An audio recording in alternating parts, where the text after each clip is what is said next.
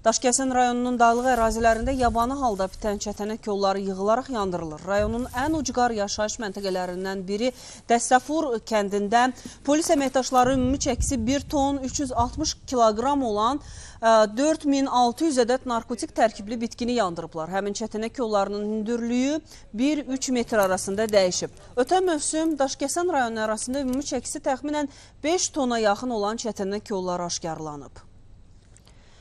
Balakənd rayonunda yeniyetmə və gənclər arasında ənənəvi Respublika Şahmat Olimpiyadası keçirilir. 50 şəhər və rayondan 400-ə yaxın iti zəka sahibinin qatıldığı yarışda Gəncəli İdman